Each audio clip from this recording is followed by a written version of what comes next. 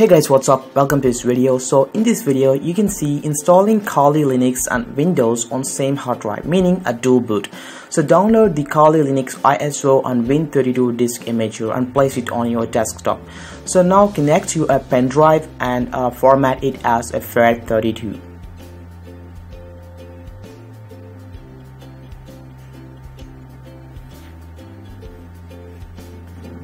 Once the pen drive is formatted, now you have to open the Win32 disk imager. Now you have to allocate for the uh, Linux ISO.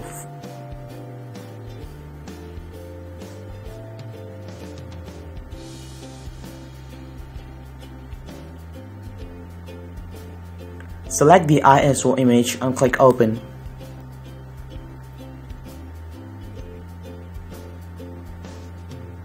Now click on a write on your uh, Win32 disk imager to start a writing on your pen drive. So this process will gonna be it take uh, some time so I'm gonna be fast forwarding for you. Once it's done, right click on a start button and choose run. Here type cmd. Once the command prompt is open, you have to type a disk mgmt which stands for a disk management.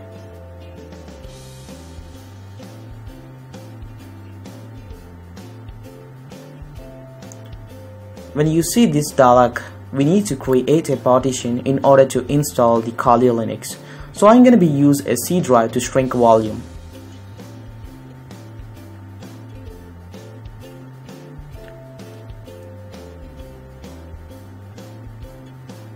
I recommend you to uh, allocate a space at least at 40 GB or higher. So in this case, I'm going to be use a 200 GB and click on shrink.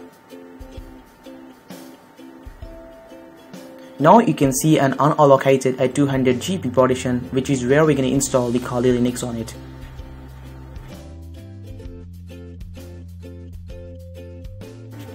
Now restart your computer. Make sure you have connected your bootable drive. Now when the computer is turned on, it will directly boot into a Kali Linux setup. When you see this setup, Scroll down to the bottom and choose Graphical Install and press Enter.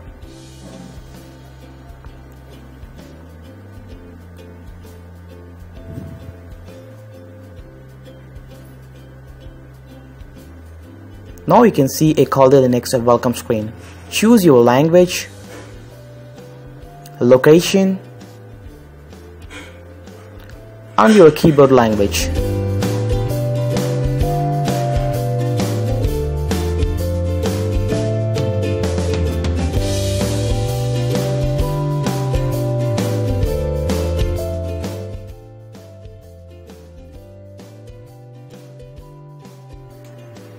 When you see this page, you have to choose your hostname. In this case, I'm going to type Linux. Click continue. Now discard this step and click on continue again. Now you have to set up a root password. Since the username is root, you have to set a password for that. Then click continue. Now it will be take to the uh, partition page. Now choose manual click on continue and there you can see the free space that we allocated in a Windows. Click on free space and click continue. Now we have to create a partition. First we're going to create a slash boot partition where we can install the bootloader for Kali Linux. I recommend you to create a 1 or 2 GB. I'm going to use a 2 gigabytes. Click on continue. Choose a logical and at the beginning and continue. So now at the mount point you have to double click it and choose a slash boot and click continue. Now click on the done setting up the partition and click continue. Now you can see the slash boot is added. So make sure you have to remember the uh, partition numbers. In this case is 5. Now click on a free space again and click on continue to create a slash partition. Now I recommend you to create at least a 15 GB or higher for slash partition. In this case, I'm going to use 80 gigabytes. Click continue. Now choose logical and choose beginning, click continue. So now at the mount point, make sure you have to leave it as a slash and done setting up the partition, continue now you can see the slash partition is added and with 80 gigabytes of free space. Now you can click on the gain the free space to create a slash home partition. I recommend you to create at least a 20 GB or higher for slash home partition which is where we're going to be working through. Now click logical beginning and continue.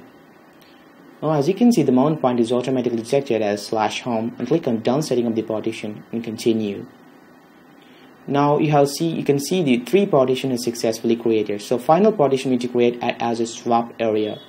Click on free space and create new partition and use a 2 GB or higher for swap area.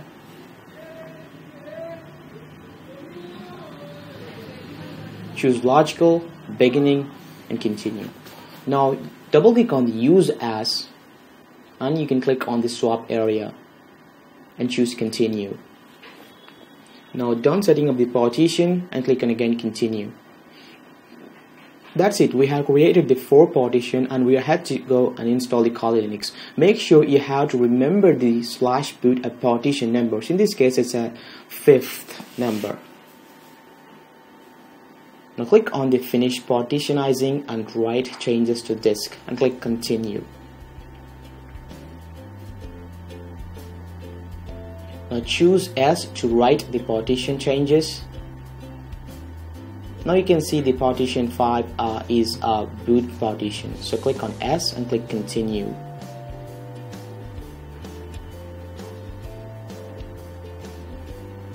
Now the system will to be install the Linux on your hard drive and it will to be take a some time and I'm going to be back with you. Once you see this page, you have to discard it as clicking the no and just continue.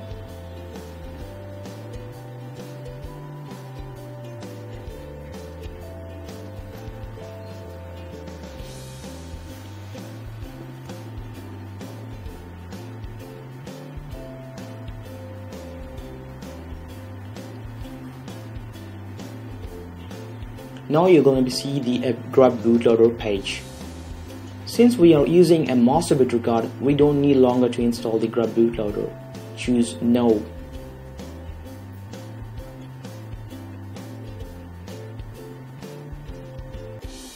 And click continue. So choose enter device manually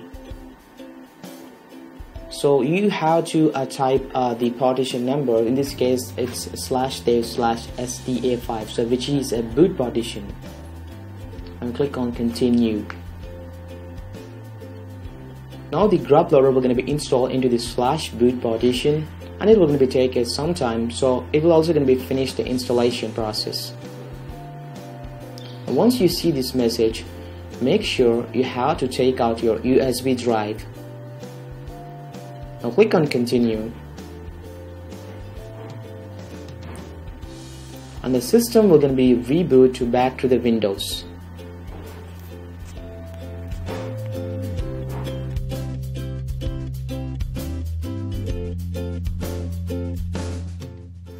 Once your system is booted back to the Windows, uh, download and install a EasyBCD on your computer. The links are in the description. Now open the EasyBCD by double clicking it. Now you can see the by clicking the edit menu you can see Windows 10 is only added to the bootable list. So now choose add new entry, choose Linux slash BSD and choose a type as a grub2.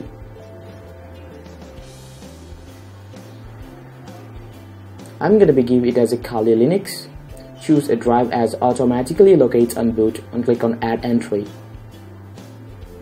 This will going to be create an entry in the master boot record so that the master boot record can find the Kali Linux and going to be able to boot. Now click on save settings and close it.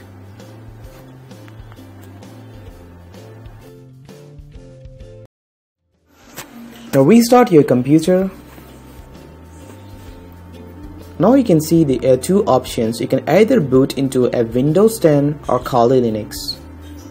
Now I'm going to choose Kali Linux to boot directly into it.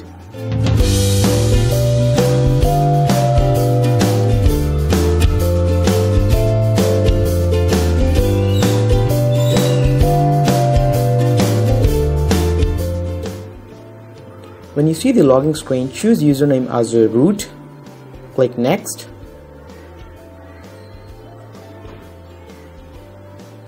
and type your password